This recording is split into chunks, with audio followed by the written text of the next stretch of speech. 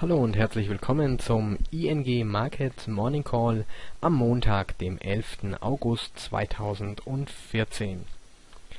Wir starten in eine neue Woche und hoffentlich konnten wir alle das Wochenende zur Erholung nutzen, nachdem uns der DAX bzw. die Börse in der vergangenen Woche doch ein ziemlich herausforderndes Umfeld geboten hat. Mit einem Wochenminus von 2,2 Prozent verabschiedete sich der Index am Freitag bei 9009 Punkten ins Wochenende, konnte sich dabei gerade noch so über der psychologisch wichtigen Marke von 9000 Punkten behaupten, nachdem es am Freitagvormittag Freitag doch bis in den Bereich um 8.910 Punkte nach unten gegangen war. In der neuen Woche stehen auch wieder eine Reihe Zahlen und Daten auf dem Programm, nachdem wir am heutigen Montag noch ein wenig ausruhen und geruhsam starten dürfen, geht es am Dienstag weiter mit dem ZEW-Index zur Konjunkturlage in Deutschland und hier wird eine Eintrübung erwartet. Am Mittwoch steht der Verbraucherpreisindex auf dem Programm, der unverändert zum Vormonat erwartet wird.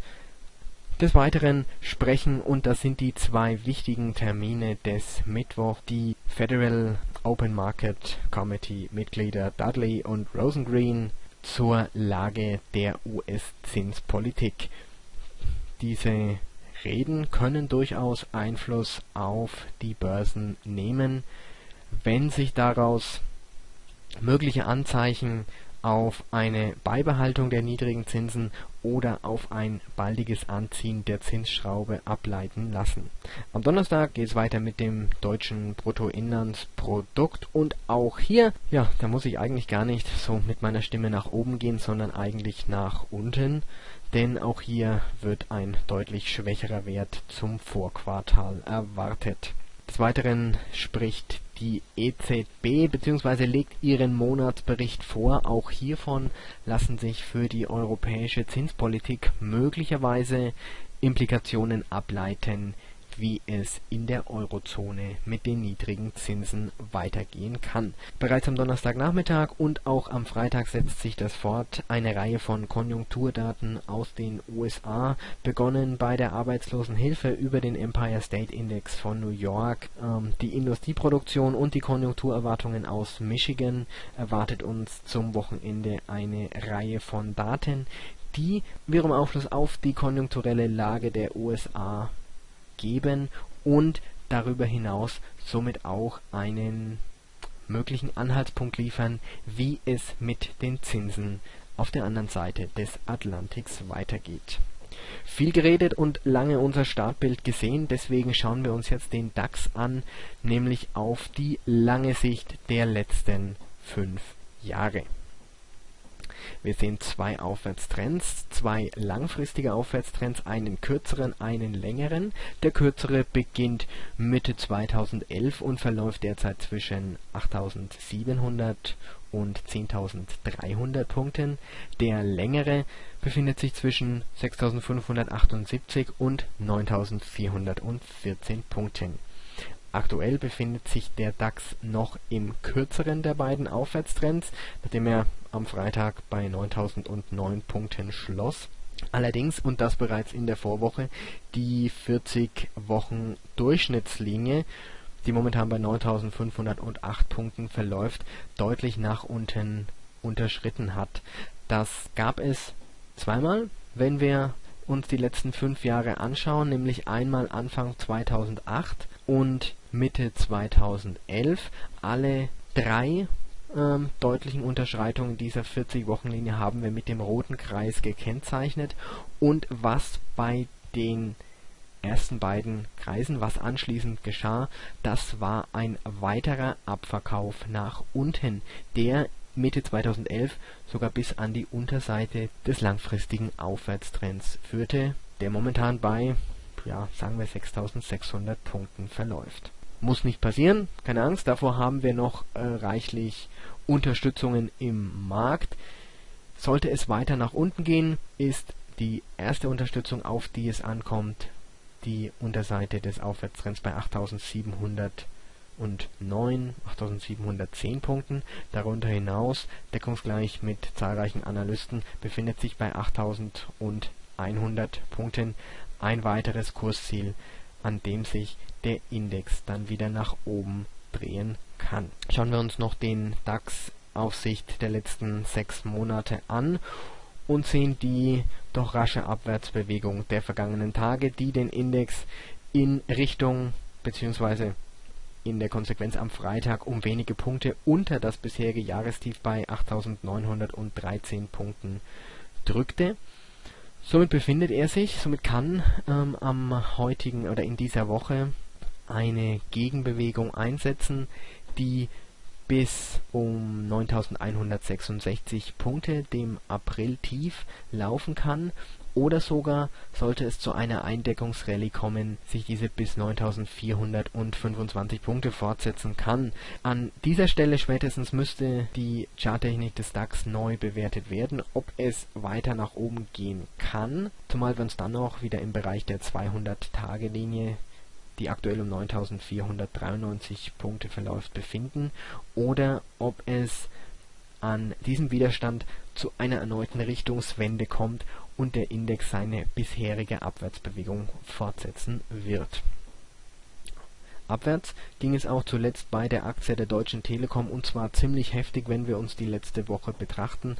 Da wurden einige bisherige Unterstützungen bei 11,92 und bei 11,39 einfach mal aus dem Markt geschossen, nachdem die T-Aktie das Hoch von Mai bei 13,16 Euro nicht halten konnte, ging es jetzt nach dem Unterschreiten, ähm, hier sehen wir die auf den Chart auf Wochenbasis nach dem Unterschreiten der 40-Wochen-Linie, die aktuell genau bei 12 Euro liegt, doch sehr deutlich und sehr rasch nach unten, sodass wir die nächsten Unterstützungen im Bereich von 10,90 Euro und darunter bei 10,58 Euro sehen, bevor sich die T-Aktie, sollte es dazu kommen, wieder mit dem Gedanken befassen möchte, möglicherweise im einstelligen Bereich zu notieren, denn zwischen 9,00 Euro 92 und 10 Euro befindet sich dann nochmal eine entscheidende Unterstützungszone. Mit dem Blick auf die letzten sechs Monate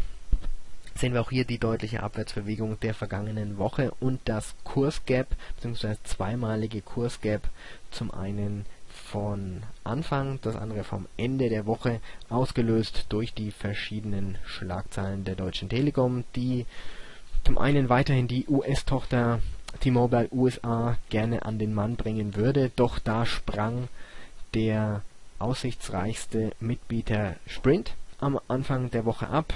Kurz danach gab es Quartalszahlen bei der Deutschen Telekom, die sorgten dann wieder für eine Gegenbewegung, als die T-Aktie auch besser als der Markt abschloss. Unter dem Strich ging es für die Deutsche Telekom allerdings auch deutlich nach unten, sodass wir auch hier im kurzfristigen Chart wieder die Unterstützung bei 10,92 Euro, die von einer Aufwärtstrendgeraden zusätzlich verstärkt wird, als richtungsweisenden Punkt betrachten. Gelingt die Trendwende hier oder auf dem aktuellen Niveau, kann sich eine Erholung zunächst bis zum Doppelhoch Anfang der vergangenen Woche bei 11,60 Euro fortsetzen. Wenn dann die T-Aktie noch weitere Kraft aufbringen kann, kann sie das Kursgap bis 11,82 Euro auch schließen. Nach oben besteht eine Abwärtstrendgerade, ausgehend vom Jahreshoch bei 13,16 Euro und diese verläuft derzeit bei 12,45 Euro und sollte die Notierungen dann allerspätestens stoppen. Von der Aktie der Deutschen Telekom zu unserem dritten Thema, dem Silberpreis. Und wir bleiben auch hier in der zunächst übergeordneten Abwärtstrendbewegung, allerdings beim Silberpreis nur bis Mitte des vergangenen Jahres, denn seitdem zeigt sich beim Edelmetall doch eine ausgeprägte Seitwärtsbewegung, die derzeit zwischen 18 US-Dollar 18 und 25 US-Dollar 12, wenn wir es auf die vergangenen 12 Monate abstellen, verläuft. Wenn wir uns allerdings dann im Folgenden einen kürzeren Zeitraum betrachten, sehen wir ebenso, dass sich die Bandbreite der Seitwärtsbewegung in den vergangenen Monaten noch einmal verringerte. Den jüngsten Höhepunkt in diesem Chart erreichte der Silberpreis im Mitte 2011 knapp 50 US-Dollar war eine Feinunze dann wert. Seitdem geht es ging es langfristig abwärts. Derzeit befinden sich die Notierungen aber wieder über dem bisherigen Abwärtstrend, den wir aus diesem Grund auch grün gekennzeichnet haben, da er nach unten als eine weitere Unterstützung dienen kann. Nun aber zum Blick auf die letzten sechs Monate beim Silberpreis. Da sehen wir, dass sich die Bandbreite verringert hat der Seitwärtsbewegung auf 18 US-Dollar 61 nach unten und 21 US-Dollar 98 nach oben. Das waren die Leitplanken der letzten sechs Monate. Auf ganz kurzfristige Sicht geht es seit Mitte Juli wieder nach unten. Diese kurzfristige Abwärtsrendgerade befindet sich derzeit bei 20 US-Dollar 41. Von unten kommt allerdings eine ebenso kurzfristige Aufwärtsgerade dazu, die bei 19 US-Dollar 81 derzeit eine feste Unterstützung bietet.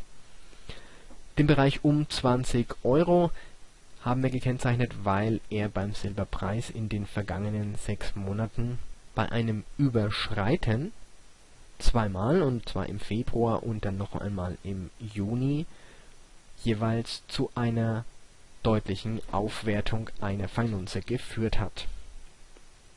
Gelingt das wieder und wird dann auch der kurzfristige Abwärtstrend aus dem Markt genommen, gelten die Widerstände bei 21 US-Dollar 29 und darüber hinaus die Oberseite der Seitwärtsbewegung der vergangenen Monate bei 21 US-Dollar 98 als nächste Anlaufstellen. Geht es allerdings darunter und zwar aktuell unter 19 US-Dollar 81, dann müssen wir die Unterstützungen bei 19 US-Dollar 20 und 18 US-Dollar 61 wieder in Augenschein nehmen das war der ING Markets Morning Call für Montag, den 11. August 2014.